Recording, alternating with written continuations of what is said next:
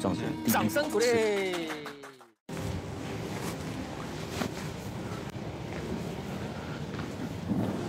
Hello，各位亲爱的朋友，大家好，我是张明雄雄哥。哎，那有些朋友在问说，哎，我们打撞球之前哦，不管是跟朋友娱乐，或自己想要认真练习，或者是参加一些小比赛、会员赛啊、那之前是不是需要做一个热身动作？其实是需要的，因为我们撞球运动跟其他的单项运动都一样，都是需要热身，然后需要做一个筋骨啊、放松的这个动作。那对我们上手一开始打的时候，也会稳定性会比较高。那以前我当职业选手的时候，那时候我们是两天比赛，那如果有打进第二天啊十六强单败的这个赛制的时候，我们就早上就要起来，那十点开赛，那有时候起得晚的时候啊，没有做一个简单的热身哦，然后就上场了。那一开始比球，那开始有机会上手第一局的时候，有时候球打没进，或是打进的时候啊，这个母球啊力道或路线都不对，那就是你手不够柔、不够顺，就顶啊啦，手硬掉了，甚至于就说你可能没有热身，会影响到你的思绪还不够清楚，也会影响你的判断。所以热身其实是蛮重要的。那你可以做简单的早操之类的，然后再来就是说把所有的球啊，可以放在这个发球线上面啊。如果在那边捡球三角框的话，你可以大约放在这个中间颗心点放一排，那你就单独先打进啊对面的中带啊底带啊。比如说你颗心边的话，你可以先放柔，自己感受一下出杆的感觉，好，然后可以打推杆。然后打中杆，然后打拉杆，看一下母球跑的感觉啊，看自己的出杆顺不顺啊，旋转值的感觉有没有自己满意啊？下右塞、右上塞一点半的位置，哦，或者是左下塞七点半的位置，然后再来一个刹车球啊，自己看看送的顺不顺，然后力量再慢慢加大啊。下低杆加大，下推杆加大，啊，然后可以换另外一边左塞推杆，啊，用这种各个打点啊，中塞、小塞、大塞啊，自己来感受一下，啊，远距离的刹车再打一下，中杆再送一下，啊，颗心边架杆，啊，后杆抬高。那这样打进之后啊，你可以一盘两盘，啊，觉得自己哎，筋骨还蛮开的哈，出杆的力量有把握，哎，好像自己掌握的还不错。就是说你的力道掌握不错之后，再来就我们就打目标球哦。那目标球你刚开始可以短距离嘛，啊，短距离我想说，哎，我打一个小拉杆看看，过发球线啊，好，刚好。发球线、过发球线之类的，然后这个球我想要拉多一点啊，到颗星啊，抓一下力道，感觉怎么样？哎，还不错啊。那再来，你可以就是一个定杆啊，中距离的定杆，我觉得还 OK 啊。来打个推杆啊，比如说我这样子哈。假设我们打一个推杆，走一个三颗星，看自己的送杆好不好？哎，还不错啊。那自己这样练习热身一下之后，那就可以跟朋友打，或自己再专注练习一个一两盘啊。比如说个人练球，或者是说您参加比赛的话，就可以用这种方法来让自己热身啊。那练球的时候就视同我们是要。跟人家对打，或者是你参加比赛要认真啊，因为认真有两个好处：第一个，我们进球会比较准；第二个，我们做球啊，就知道说做好啊是什么原因，做不好是什么原因。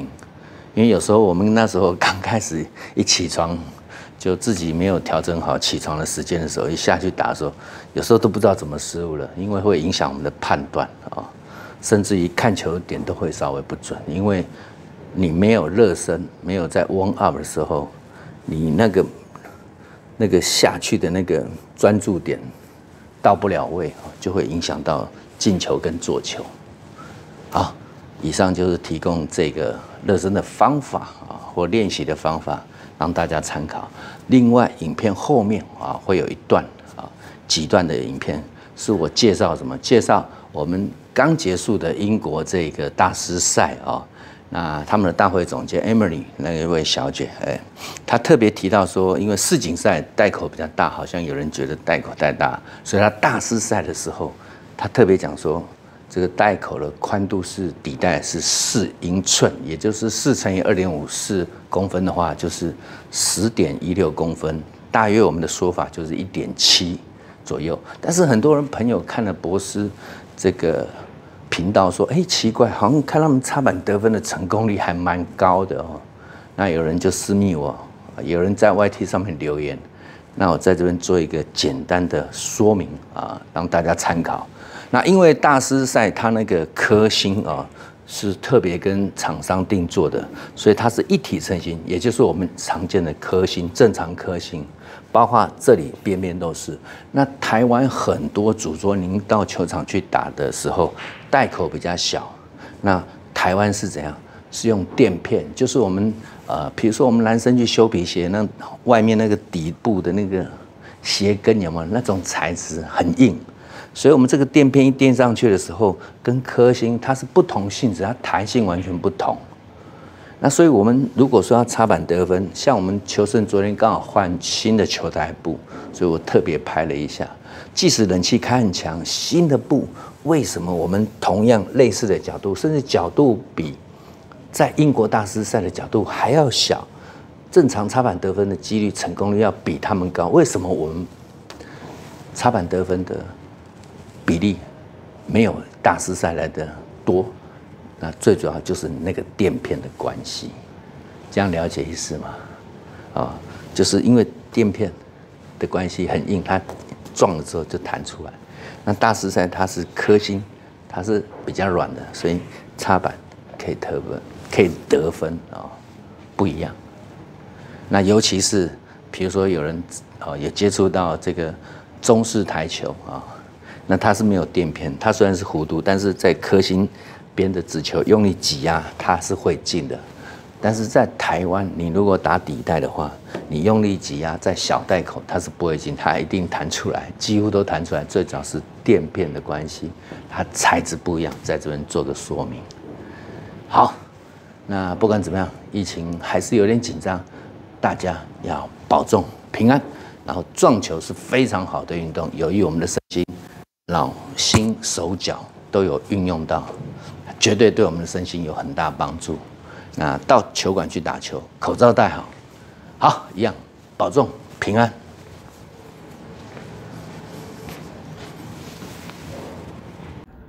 好，我们来看美波尼在大师赛啊，这颗球它是撞击到这个底带角之前，大概半颗球还是会进。再来看一下重播哦，那这就代表这个颗星的角是软的。那我们来看这颗球，这个撞击点离底带更远，至少一颗球多，还是会进。好，我今天早上特别在我们的主桌哦，跟英国袋口一样来测试一号球角度蛮小的，好插板没问题。那二号、三号虽然比一号球角度稍微大一点，但是跟这个美波尼打的那个角度来讲的话，小很多。但是不会进，最主要材质不同，所以两边结果就不同。